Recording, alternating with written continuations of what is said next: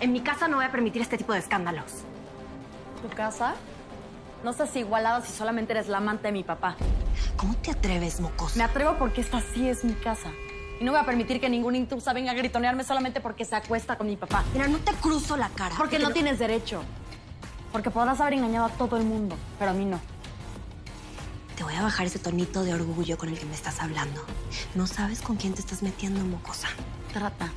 Órale, vas, intenta. Hueles a internado.